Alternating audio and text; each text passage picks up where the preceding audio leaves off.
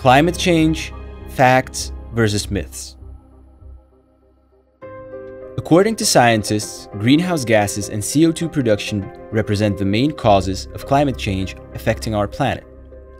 We are looking for solutions like quotas, international conventions, and agreements, yet these seem to yield no real effect.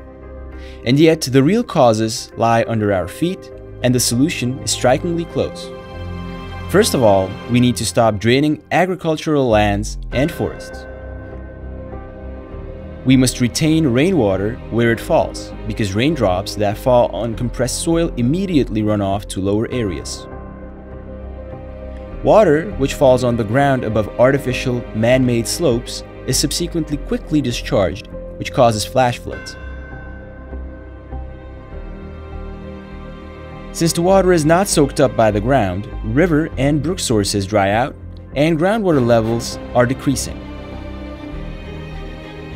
Drained continents are being further heated up by solar radiation, subsequently heating the Earth's atmosphere and resulting in global warming.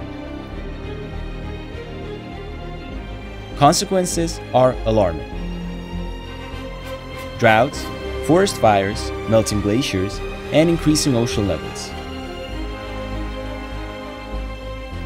Yet an effective and simple solution to this problem exists. We have it. Please help us persuade scientists and politicians that the time has come to change our perspective.